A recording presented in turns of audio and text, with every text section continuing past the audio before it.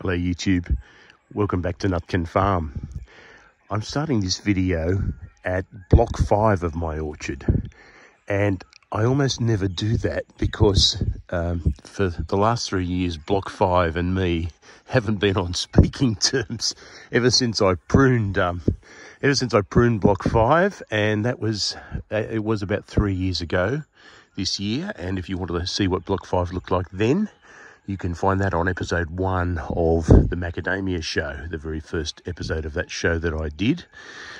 and um, I had been told and you know warned in advance that when you prune blocks of old Hawaiian derived trees, ones from Macadamia integrifolia, they'll sulk for three years before they crop for you again. And then I heard from other people that's rubbish. You know, you'll get your crop back earlier than that. Well, I'm here to tell you it's not rubbish because this block has been sulking ever since it got a haircut. Now, it needed the haircut. It was long, long overdue, and I bit the bullet and did it, but it hasn't given me crop. It's August now in 2023, and um, one of the only times you can see what your crop might be like on a macadamia orchard is flowering. And it's a little bit early for flowers to come out fully, but you can actually get out and around your trees and see what's happening. Now, this tree here, which I, on the latest information, uh, I'm told is a triple three, has got flower on it that, look, you couldn't ask for any better. It's got you know, green flowers, so they're not as visible as when they're fully out, and there'll be other videos I'll do when that happens, although one flower there, funnily enough, is fully out.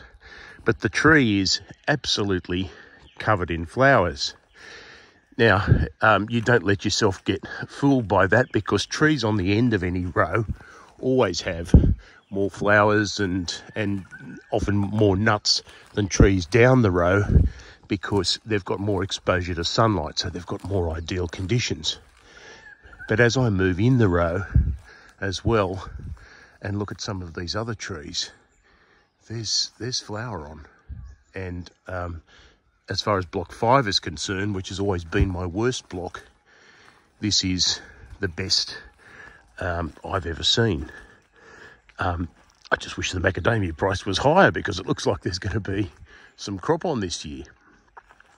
Now, if, and I do believe these are macadamia triple three, their, their general mode of operation, this variety, is they bear lots of nuts they're very low kernel recovery, but there's lots and lots and lots of them. And that's where the trade-off sort of justifies the variety a little bit, even though it's no longer widely grown.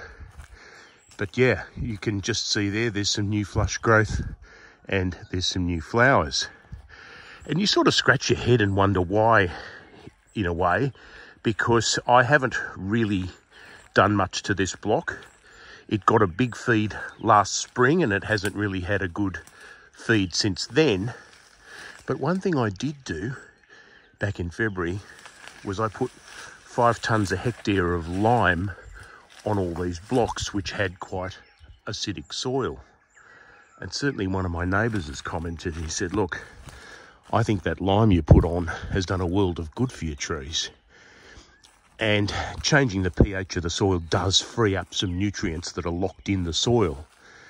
And I'm just wondering, looking at these trees, whether that's been the trick um, because it's not like I've added a whole lot of nutrient. The soil tests came back okay, but, but you, I would have, you know, ideally fed the trees generously in autumn to promote this very thing happening. And yet it is happening. So I'm very grateful this morning. That's um, block five and, and um, I've just recently slashed all these old blocks um, to get the grass down and to keep it down hopefully this season. But I wonder, uh, and, and so I know that, you know, block three for all the old blocks are pretty much behaving the same way. Even the, um, even the um, three, four, fours at the top of the blocks. But I suppose, you know, to do a full health check, you've got to look at the other varieties on the farm uh, as well. So let's go have a look. Over at the base of block six, I've got some A16s. and um, immediately you can tell the difference between these and the triple threes that I just showed you. We've got a lot of very long, thin flower racemes. Now the A16s flower a bit later, so these flowers are in their earlier stages. But, you know, up next to my hand, you can see how long some of the flowers are. And A16 always flowers heavily, so this isn't a, an especially good year. It, it looks, you know, pretty much average, but looking along all the row 16s around this uh, part of the block, I'd have to say I'm pretty happy with that. A bit further up block 6, we've got some 660s and they did a bit of out of season flowering in the autumn so you can see the odd nut there as well. But have a look at this. There's quite a lot of flower on these trees as well. So quite happy with that and that's repeated fairly reliably across the board. There are there were a lot of sick trees here when I took over the orchard four years ago and with a bit of conventional feeding they did come back now further up at the top of block six, we've got some A4s and these trees look hungry. They need a good feed. But even they've got a fair few racemes on. Um, not as many as the A16, I'd have to say, but there's some good basic flowers there and um, some late nut, of course, there that hasn't dropped as well. Classic A variety for you. Um, but yeah, look, we've got that mix of nut there and new racemes and the A4, the A4 will flower a bit late, uh, kind of like the A16 will, because those two varieties are actually siblings. And one of the ways that's most obvious is in their flowering pattern.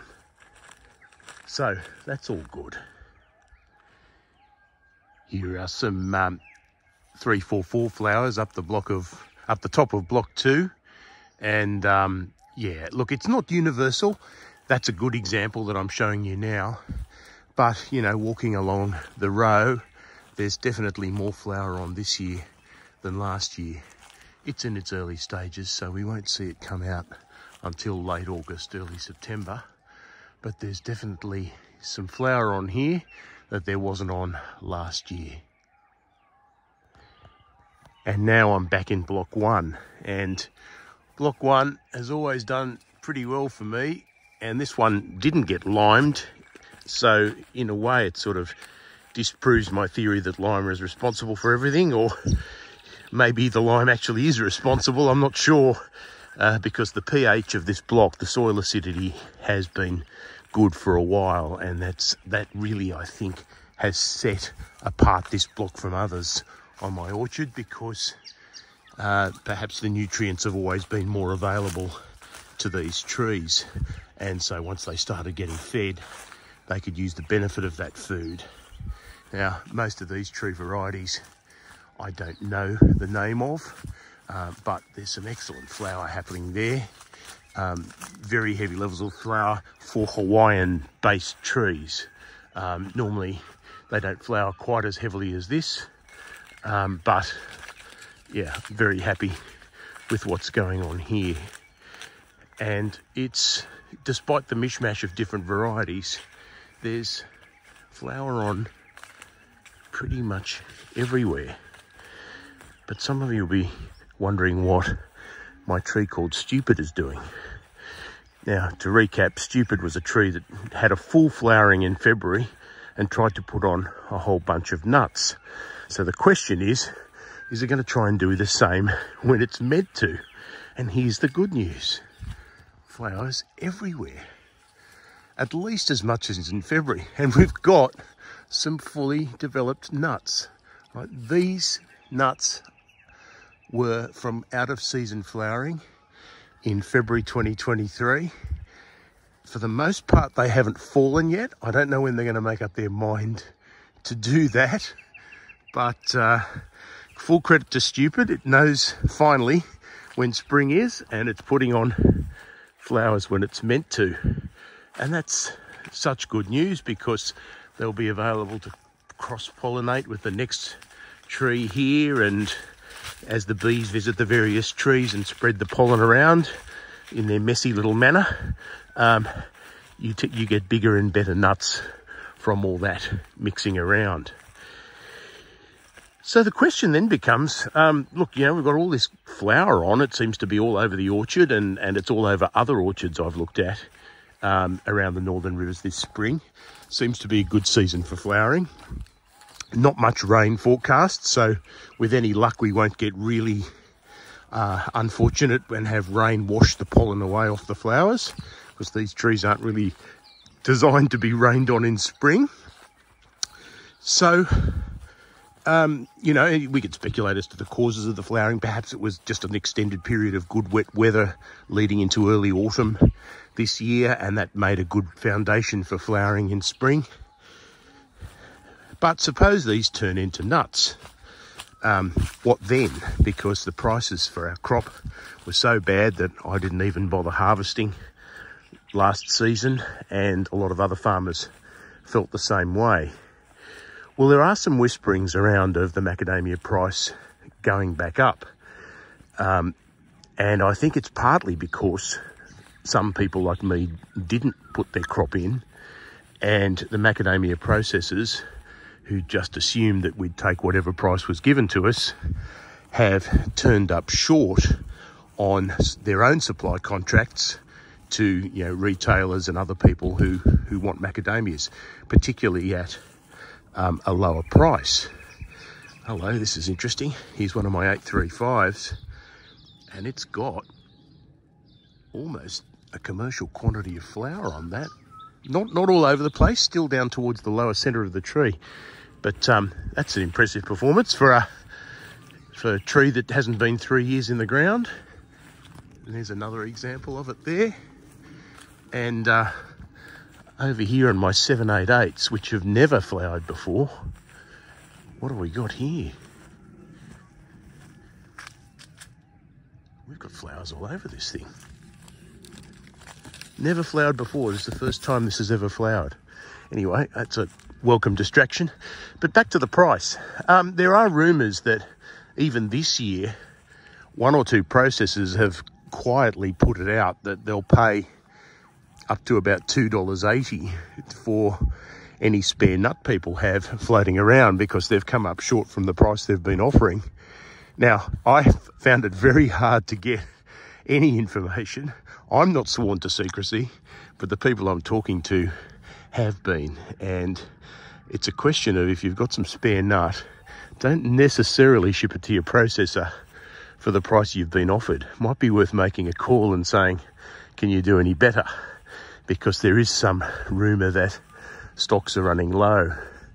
And it's a, uh, uh, you know, I mean, it makes me smile because frankly, uh, the way the growers were treated this year was pretty terrible. Uh, not just the price, but all these inventive penalties um, they put on us. And to see a, a, bit of a change in heart would be a good thing. Does it mean that a, a higher price will be offered next season? Well, that's something we need to do some more talking about. Uh, certainly if the old stocks have, have worn down. Gosh, this 788's got a full flower on it already. There's a nice big fat raceme. So that's what that looks like. And the one next to it as well. Excellent. Really good. And here's the A4 over here that I've featured in a number of uh, other shows. Racemes everywhere. Let's go to look at treat in about a month's time. So yeah, look, we think prices might bounce back a little bit, although it still could be a little bit on the on the low side. You wouldn't expect them to do a complete rubber band effect and, and go back up, you know, to four dollars plus a kilo. But the news is that it might not stay low, which is, you know, which is what a lot of farmers have been fearing because the viability of their asset is something, you know, that's an equation of how long can you put up with these low prices before you might think about scrapping the idea of macadamia farming and doing something else. So obviously the quicker we have price recovery, um, the better it'll be for a lot of people who need to, to live on these nuts. Here's a 246. It's again about three years old. It's got some flowers on it, although I've noticed out of my babies, uh, the 246 has been reluctant to flower. This one I think is a Macadamia J. I've got to check my records on that one, but it's got some flower too.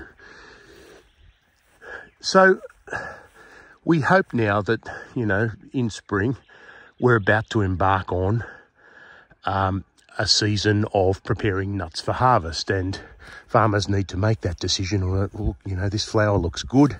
Is it worth investing in? Um, the answer for me is yes, provisionally. It is definitely worth trying to do something to make sure there's a crop on your tree so that if the prices are good, you can take advantage of it. What do you do with that? Well, the first step when you see flowers like this is to spray. And, you know, for, for Sydney slickers or, or know, Pitt Street farmers or, you know, people who want to have a nice natural lifestyle, I get it. Spraying is the ugly part of macadamia farming. Um, it's the most worrisome part of macadamia farming in terms of people's health and everything else. Um, but there are good products you can use uh, and bad products you can use.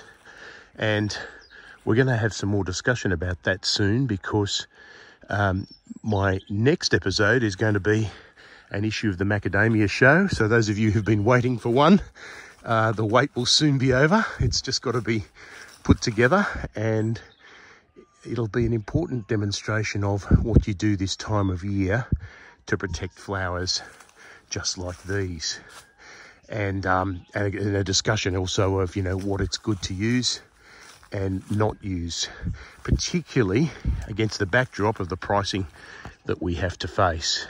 Because sometimes doing the right thing costs more money than doing the, the less right thing. Well, that's it for my video today, guys. I hope you enjoy the view. I certainly am. It's very early in the morning and that's a special time of day to be out and about on your farm. I'll be in touch again very soon. Look forward to that macadamia show, won't you? And I will talk to you later.